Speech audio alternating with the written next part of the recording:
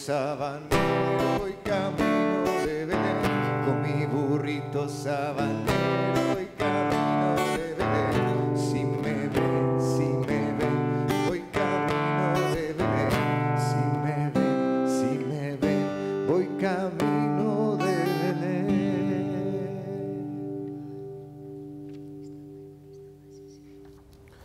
Ya llegó la plenitud de los tiempos en la cual Dios envió a su Hijo a la tierra. Ya con esta Eucaristía finalizamos el tiempo de Adviento. Ya la próxima celebraremos solemnemente la Natividad del Señor. Que este tiempo de Adviento nos haya llevado a reencontrarnos con nosotros mismos, a revalorar nuestra vida, a vivir un proyecto de vida acorde a lo que Dios quiera y que hayamos revivido la fe de tal manera que el nacimiento del Señor produzca en nosotros efectos valiosos e importantes en nuestra vida. Presento las intenciones de cada uno de ustedes, las intenciones eh, que nos dejan allí en el canal y las presento al Señor. En el nombre del Padre, del Hijo, del Espíritu Santo. Amén. El Señor que pronto nacerá para darnos salvación esté con todos ustedes. Ante el Señor y con humildad pidamos perdón. Yo confieso Yo confieso ante Dios ante Todopoderoso Todopoderoso, y ante ustedes, hermanos, que he pecado que he mucho pecado mucho, de pensamiento, palabra, obra y omisión. Por mi culpa, por mi culpa, por mi gran culpa.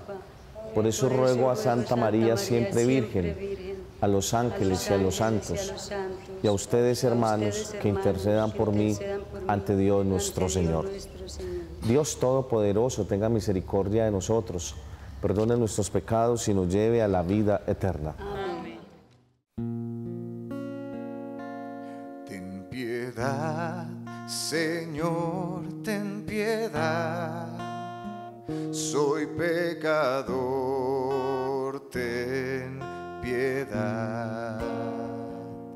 Y de mí, Cristo, apiádate contra ti. Yo pequé. Ten piedad, Señor, ten piedad. Soy pecador, ten piedad. Oremos.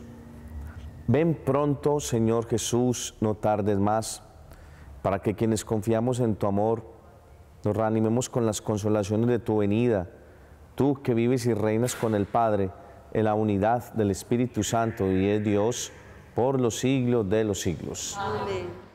Lectura del segundo libro de Samuel. Cuando el rey David se estableció en su palacio y el Señor le dio la paz con todos los enemigos que le rodeaban, el rey dijo al profeta Natán, Mira, yo estoy viviendo en casa de cedro, mientras el arca del Señor vive en una tienda. Natán respondió al rey, Ve y haz cuanto piensas, pues el Señor está contigo. Pero aquella noche recibió Natán la siguiente palabra del Señor. Ve y dile a mi siervo David, esto dice el Señor. ¿Eres tú quien me va a construir una casa para que habite en ella? Yo te saqué de los apriscos, de andar tras las ovejas, para que tú fueras jefe de mi pueblo Israel. Yo estaré contigo en todas tus empresas, acabaré con tus enemigos, te haré famoso como a los más famosos de la tierra. Daré un puesto a Israel, mi pueblo. Lo plantaré para que viva en él sin sobresaltos, y en adelante no permitiré que los malvados lo aflijan como antes, cuando nombré jueces para gobernar a mi pueblo Israel. Te pondré en paz con todos tus enemigos, y además el Señor comunica que te dará una dinastía. Y cuando tus días se hayan cumplido y te acuestes con tus padres, afirmaré después de ti la descendencia que saldrá de tus entrañas, y consolidaré su realeza. Yo seré para él padre, y él será para mí hijo. Tu casa y tu reino durarán por siempre en mi presencia, tu trono permanecerá, permanecerá por siempre. Palabra de Dios. Cantaré eternamente tus misericordias, Señor. Cantaré eternamente tus misericordias, Señor. Cantaré eternamente tus misericordias del Señor. Anunciaré tu fidelidad por todas las edades, porque dije, tu misericordia es un edificio eterno, más que el cielo has afianzado tu fidelidad. Cantaré eternamente tus misericordias, Señor. Sellé una alianza con mi elegido jurando a David mi siervo, te fundaré un linaje perpetuo, edificaré tu trono para todas las edades. Cantaré eternamente tus misericordias, Señor. Él me invocará, tú eres mi Padre, mi Dios, mi roca salvadora. Le mantendré eternamente mi favor y mi alianza con él será estable. Cantaré eternamente tus misericordias, Señor. Aleluya, aleluya. Aleluya, aleluya. Aleluya, aleluya.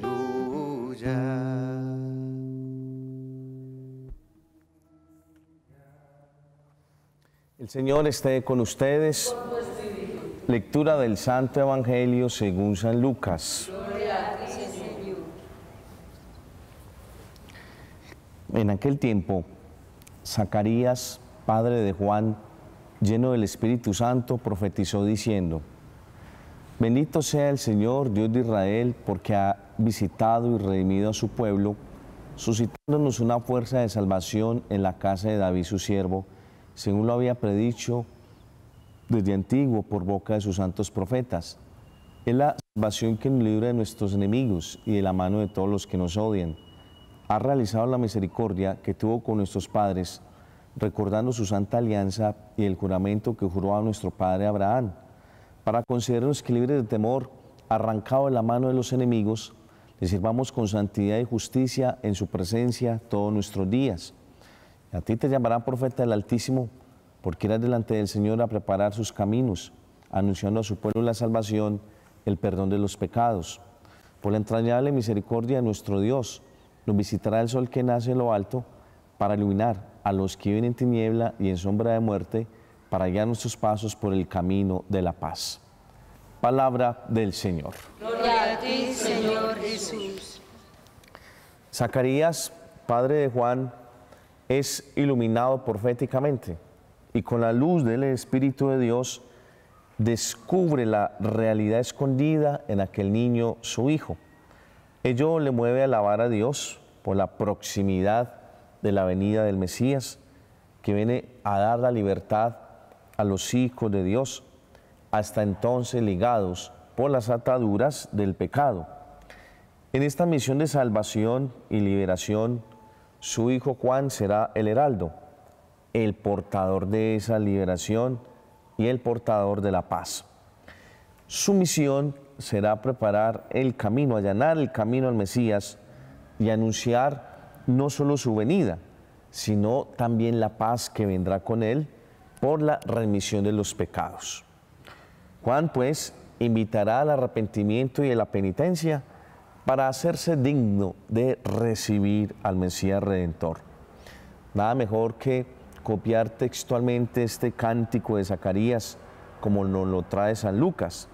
Bendito el Señor Dios de Israel, porque ha visitado y redimido a su pueblo y nos ha suscitado una fuerza salvadora en la casa de David su siervo, como había prometido desde antiguo por boca de sus santos profetas, que nos salvaría de nuestros enemigos y de las manos de todos los que nos odian.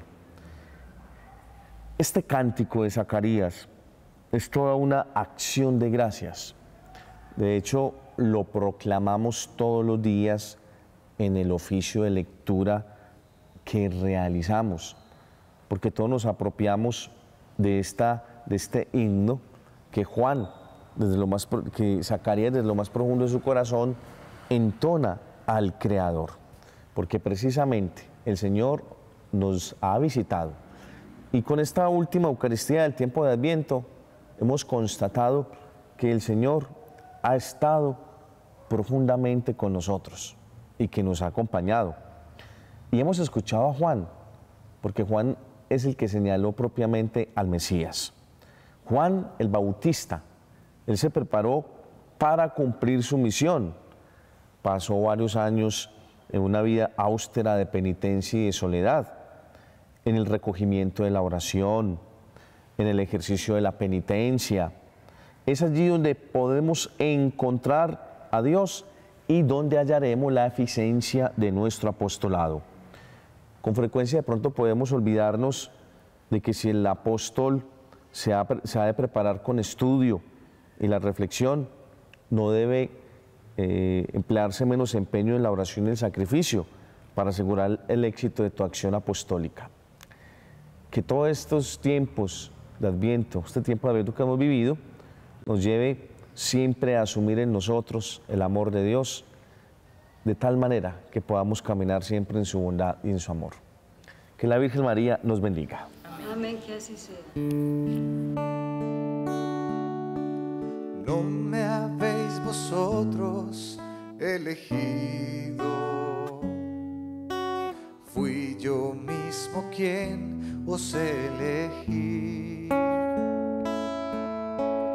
Ya nos llamo siervos sino amigos, permaneceréis para siempre junto a mí. Tomad y comed, este es mi Él será para cuerpo nosotros pan de vida. que se entrega por vuestra salud. Tomad y bebed, esta es mi sangre que yo derramé por vosotros en la cruz. Oremos hermanos para que este sacrificio que es mío y es de ustedes sea agradable a Dios Padre Todopoderoso. Hermano, este sacrificio para la alabanza y gloria de su nombre, para nuestro bien y el de toda su santa iglesia. Acoge benigno Señor los dones que te presentamos, para que cuando los recibamos seamos purificados de nuestros pecados y podamos esperar con almas limpias la llegada de tu Hijo, por Jesucristo nuestro Señor. Amén. El Señor esté con ustedes. Con tu espíritu Levantemos el corazón. lo tenemos levantado hacia el Señor. Demos gracias al Señor nuestro Dios. Es justo y es necesario. En verdad es justo darte gracias, Dios Todopoderoso y Eterno, alabarte, bendecirte, glorificarte por el misterio de la Virgen Madre. Porque si del antiguo adversario nos vino la ruina, en el seno virginal de la hija de Sión ha germinado aquel que nos nutre con el pan de los ángeles y han brotado para todo el género humano la salvación y la paz. La gracia que Eva nos arrebató nos ha sido devuelta en María. En ella, Madre de todos los hombres, la maternidad redimida del pecado y de la muerte, se abre al don de una vida nueva. Y así, donde abundó el pecado, se ha desbordado tu misericordia en Cristo nuestro Salvador.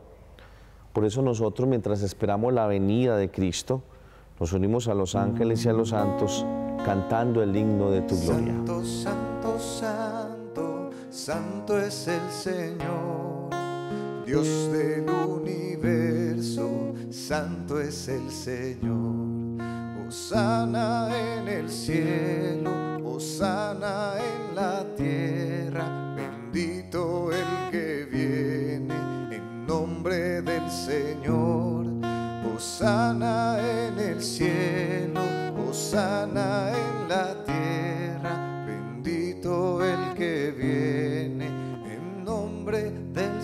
Santo eres, en verdad, Padre, y con razón te alaban todas tus criaturas, ya que por Jesucristo, tu Hijo, Señor nuestro, con la fuerza del Espíritu Santo, das vida y santificas todo, y congregas a tu pueblo sin cesar, para que ofrezca en tu honor un sacrificio sin mancha, desde donde sale el sol hasta el ocaso. Por eso, Padre, te suplicamos, que santifiques por el mismo Espíritu estos dones que hemos separado para ti, de manera que se conviertan en el cuerpo y en la sangre de Jesucristo, Hijo tuyo y Señor nuestro, que nos mandó celebrar estos misterios. Porque él mismo, la noche en que iba a ser entregado, tomó pan, dando gracias te bendijo, lo partió y lo dio a sus discípulos diciendo, tomad y comed todo de él, porque esto es mi cuerpo que será entregado por vosotros.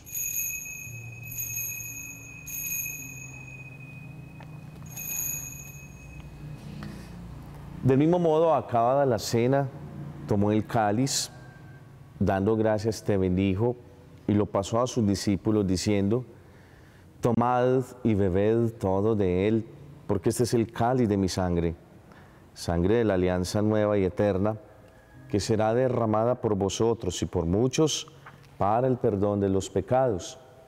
Haced esto en conmemoración mía.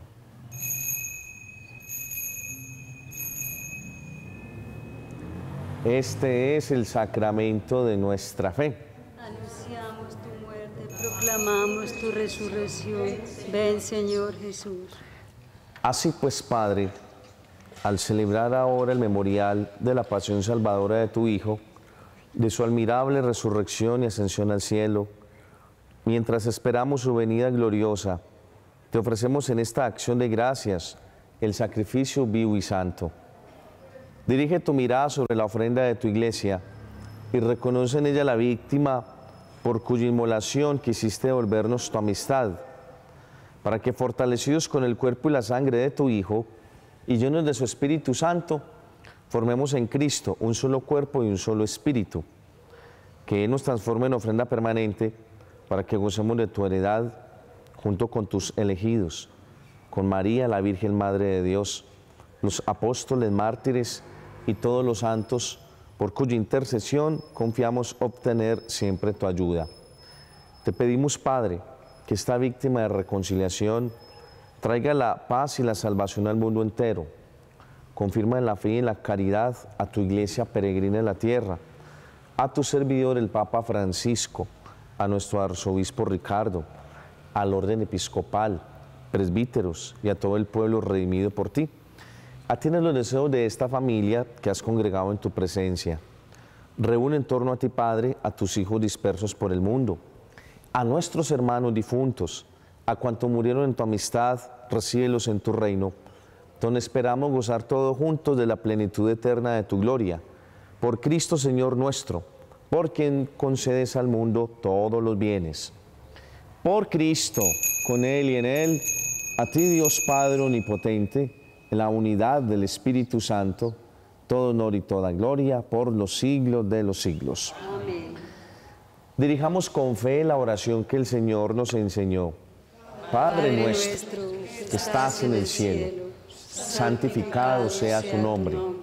Venga a nosotros tu reino. Hágase tu voluntad en la tierra como en el cielo. Danos hoy nuestro pan de cada día. Perdona nuestras ofensas como también nosotros perdonamos a los que nos ofenden. No nos dejes caer en la tentación y líbranos del mal.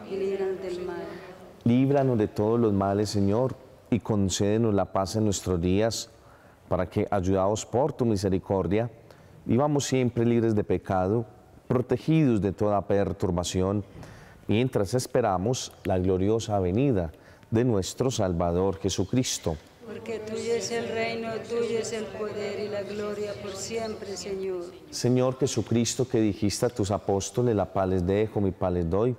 No mire nuestros pecados, sino la fe de tu iglesia y, conforme a tu palabra, concédele la paz y la unidad, tú que vives y reinas por los siglos de los siglos. Amén. La paz del Señor esté siempre con ustedes. Démonos el saludo de la paz.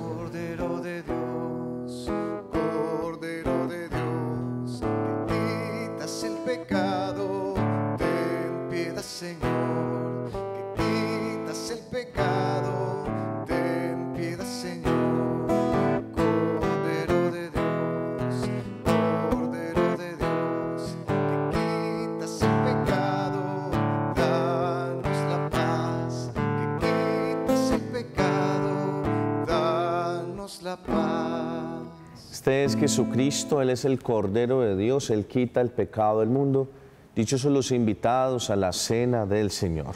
Señor, no soy digna de que entres en mi casa, pero una palabra tuya bastará para sanar. Cuerpo y sangre de Cristo guarda mi alma para la vida eterna.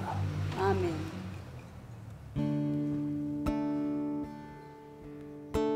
Yo creo en la palabra de Dios, yo creo en la palabra de Dios, yo creo en la palabra de mi Señor. Si soy fiel en lo poco, Él me confiará más. Si soy fiel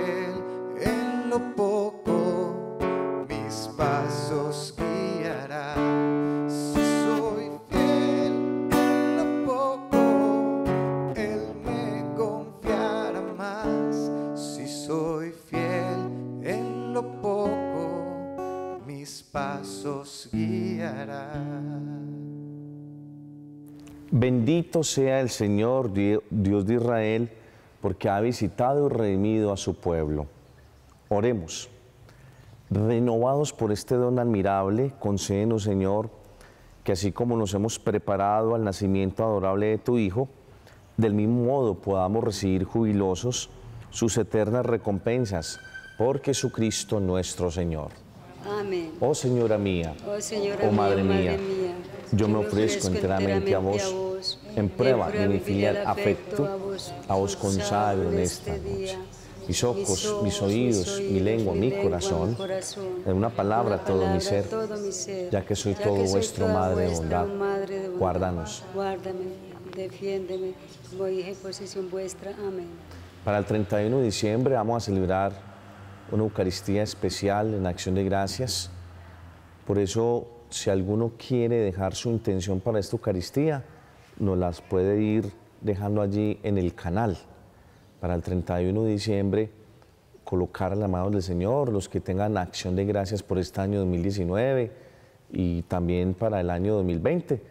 Entonces, libremente, eh, denos- déjenos allí sus acciones de gracias e intenciones para la misa del 31. El Señor esté con ustedes.